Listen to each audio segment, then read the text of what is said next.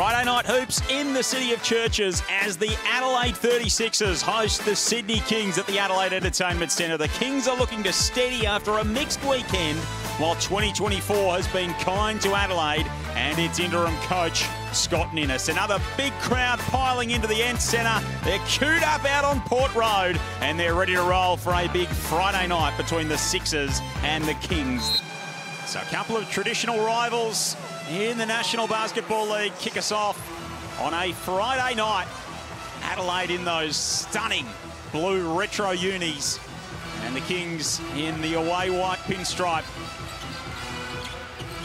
Vasiljevic looking to get going early. They go inside to Hunter or to Humphries. He and Hunter will be a great matchup, and that's the way they'd like to start. Another sellout at the Adelaide Entertainment Centre tonight. Massive crowds all season. And a credit to the sports mad people in that beautiful city. Fast break opportunity for the Sixers. And Marshall gets it home. Oh, Adams puts the moves on. That's gorgeous. Vasiljevic the step back. Drains it. That's tough.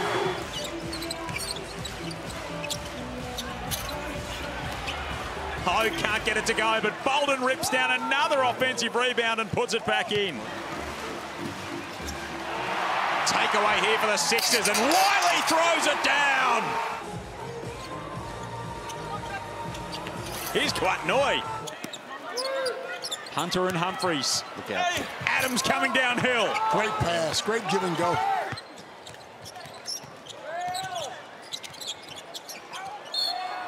DJ leans in it in. 7-0 run for the Sixers. Jaylin Galloway snaps that in half.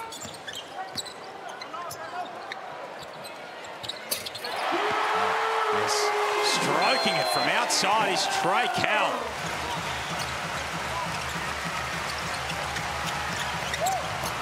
That's a beautiful find from Adams underneath to Kouat An absolute laser of a pass.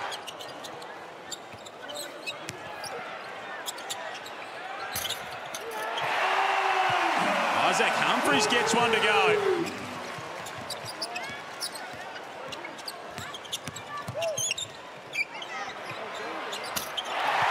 Oh,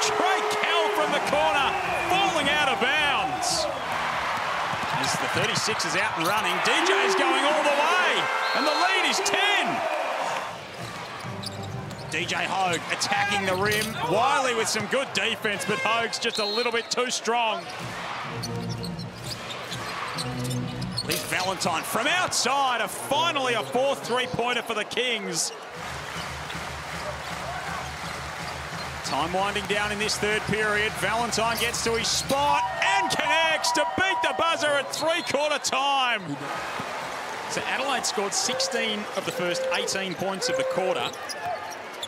And then Sydney finished with 16 of the last 17 points in the quarter. Spot on. It was a strange, strange turn as Humphries turns around and hits. Mellowatch is wide open. So Kings by three. DJ can tie it up. That one was way off the window and Humphries puts it back in. One point ball game. That's prime for Vasiljevic to make some big plays down the stretch. That might be the first of them. Last seven points of the game for the Sixers before that from Angus Glover. And at the other end, DJ. Vasiljevic keeps it alive. Towing the paint on the sideline.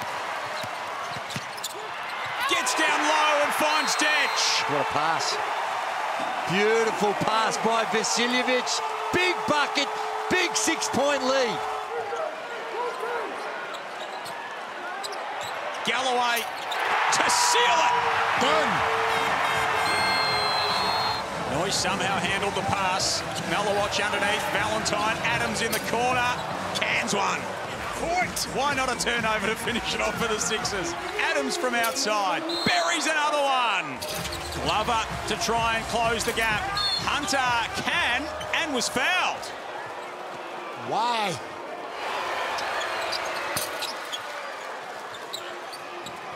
So 2.9 remaining. The full court pass finds Kadee. And one more for the road.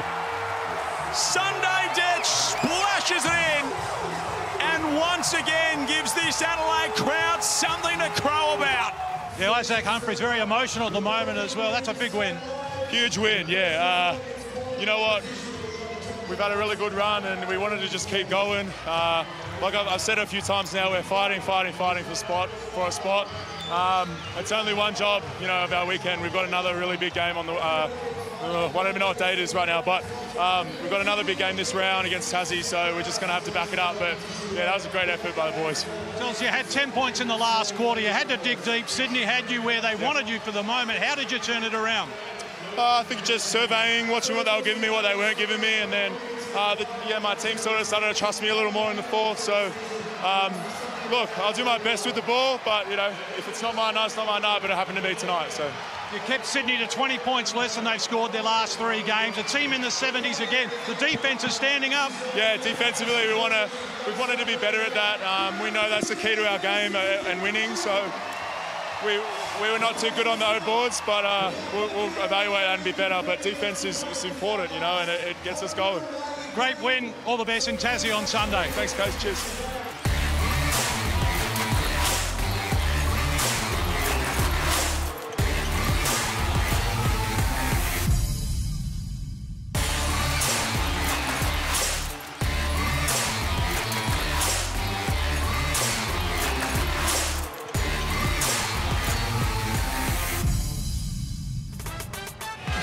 You with us for another Saturday double header of Hungry Jack's NBL. We are working our way through a Brisbane warm-up here, Brad, and the Bullets, they come here having beaten Illawarra twice already this season, albeit by skinny margins. It's a big game for the Hawks, but maybe bigger for Brisbane, who are trying to hold fourth spot by winning away from Nissan Arena. They've been brilliant all year, and that's what they're going to keep trying for now. This team has been outstanding. They're climbing up ladder. I said it in the opener. They want to get home court advantage, and in the play-in, that's a key. This team's very good, but they're up against a very red-hot Illawarra. So it's the Bullets who control the tip, and we'll have a chance to open scoring here. Harrison down low. It's Froling, double team. Has to release the ball. They get it outside, and the opening shot of the game drops for Sam McDaniel. He looks to get inside as well. Hawks score more points inside the paint than any other team, and that's where they open their account in this one. Robinson clean up his own mess there. Shot clock works to five. Lee feeds the corner, and the first three of the game for the Hawks. Just adds another string to his bow as Justin Robinson gets downhill, gets him an easy deuce. I think he said he was too small as well. No, he did. I think he did. Bannan got rid of his opponent. Baynes from close range with the finishing touches. Hickey hands over oh, and getting down to the baseline. And Todd Blanchfield has still got the legs to get upstairs. Good pass. And there's a nice finish from Lucky Albrecht. Well, well done, men. Great to see you. I know you're hoping for a big send-off, and the Hawks can give you that today, Bolt. There we go. Oh, look, there we go. Let's go, Hawks, baby. Woo!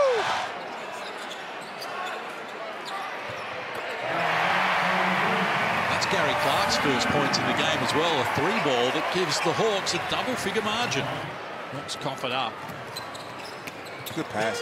Inside they find the big man once more, just making room for himself against Froling and easily at 220 centimetres, just pulling one down. The Hawks looking to make a playoff run here against another team in Brisbane who are fighting for a top six finish Spike, penetration, good, attracted the attention for Casey Prather in the corner. Just their third triple of the game for Brisbane, and they're back to within one. There's Garrett Clark starting to be a little bit aggressive himself. Sobey, the rock, one of two from the field for his two points. He picks up the dribble and forced into a poor pass there. Cut out by Clark. Robinson in support. He looks to knife between two and comes up with a finish.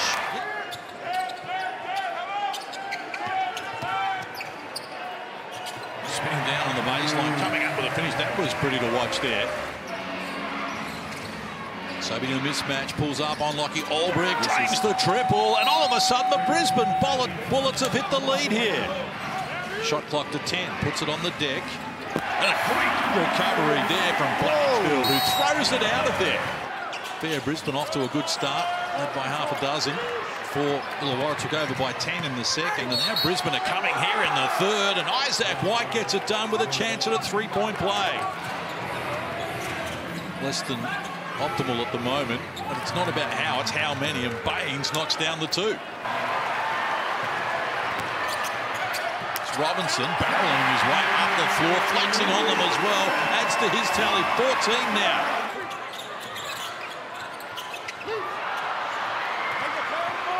Isobe taking on Robinson, getting it done.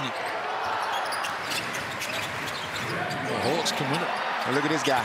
But look at this guy. The Bullets with problems here. Scored just six points in this last quarter. They Find themselves six points down. They need a bucket. Bannan couldn't get it done initially, but stayed with it to break the drought. Inside the last 60 seconds, Hawks with possession, up two. Clark sizing up Bannan decides to pull the trigger. Good option. Big play, Gary Clark. He's got 17 to lead all scorers, and the Hawks lead by five. Favour of the Hawks, Smith, fire overdue, still can't get it done. Robinson with it. Good support running up the floor. Oh, Davo! In style. What a finish it, Davo! Big finish from the Illawarra Hawks here at both ends of the floor. They want another one. They want some percentage builders as well full time at the Win Entertainment Centre, and the Illawarra Hawks have charged into the top four on the back of a three-game winning streak. They've defeated the Brisbane Bullets here 89 to 76.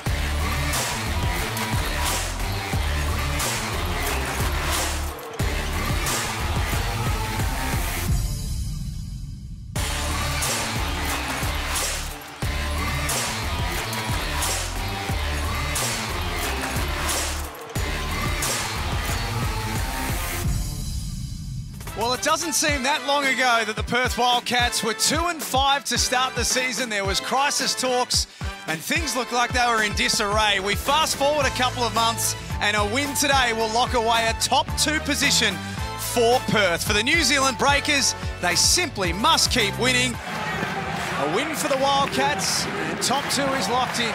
A win for the Breakers. One step closer to playing action. Cheatham top of the key almost travelled. Little turnaround goes, and the Breakers have scored the first five. Mathiang went straight up, no foul. Stavicius from the corner. The Breakers have started fast. And that's what he does. Do a little extra pass for Webster. Perth with their first field goal of the afternoon. You know what he has to do? Count that. He has to become best friends with that point guard like I do.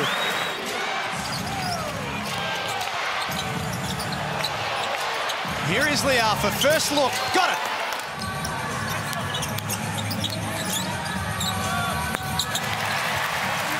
Doolittle knocks it down in the mid-range. He's been quiet. Doolittle's been quiet sort of the last couple of games, but I assume it had something to do with the concussion that he went through.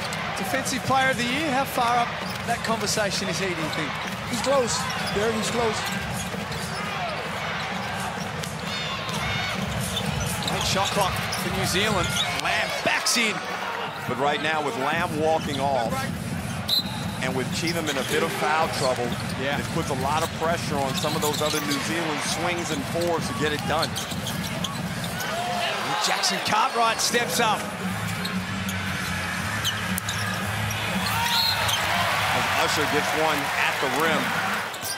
And I don't care how well the Perth Wildcats play, it just doesn't seem like the Wildcats unless Bryce Cotton's going at it. There's two more for Jackson Cartwright. He's in the double figures now, Jackson Cartwright, has pinned Pinder helps himself at the other end. I'm calling a one out, four on the baseline, and just let him go to work. Pulls up and two more. Only Arthur with two feet in the paint. Finds Mathiang. Oh, my. 12-point lead. What is going on there? Mathiang did well not the foul with Pinder off balance. Stubbins just lays it up.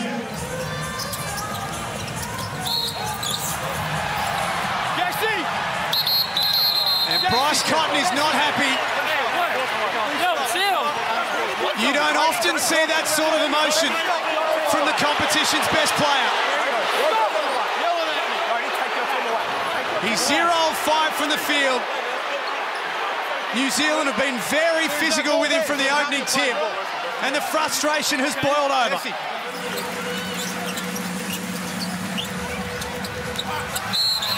Pinder and one. Cotton 0-5 in the game so far. Here he comes. Tip in is good. Well, congratulations to Damo. He's got his kids, Maggie and Bonnie and Poppy here, his wife Britt, as he mentioned, so many of his family and friends. Look here, he's got, look here, he's got a couple of the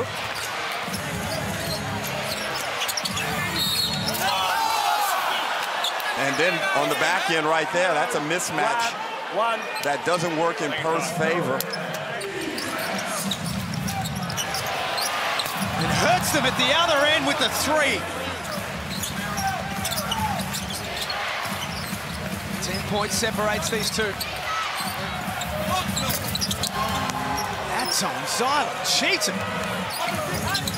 Jackson Cartwright out of the game as well. Here's Stavicius this time, top of the key, buries it. 19-point lead now for the visitors, who have come up short twice this year already. A little close-range dunk for Pinder. Cotton, one of eight for the game. It's all running through Keanu Pinder, and why not?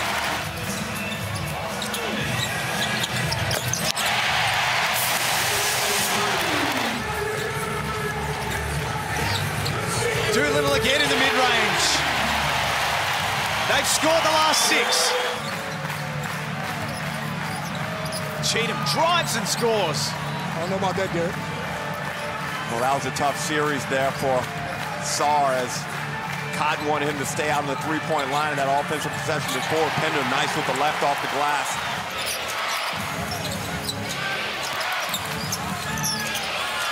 Pass inside. Vision from Jackson Cartwright for Mathiang. Cotton from underneath.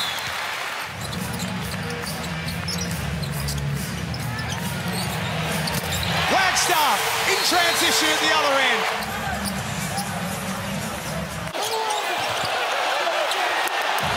Mathiang just knocked everyone over. Wagstaff's down behind play. Pinder's down behind play. Le'afa wide open. Big hit. Wagstaff has been enormous. That time, though. Offensive rebound and the putback from Tai Webster. Wildcats fans stand as one. Mathiang through the lane and scores. Big win this afternoon for the New Zealand Breakers. They're not there yet, but they sound a warning to the rest of the competition. If we get there, fear us. That's 100% correct and led by that man right there, Parker Jackson Cartwright, who set the tenor for this game in the first half. Looking up in the crowd, telling them to be quiet. This is my house today. Get in line. But a fantastic effort as a group to get an 11-point win out at RAC, and he's the footlocker player of the game.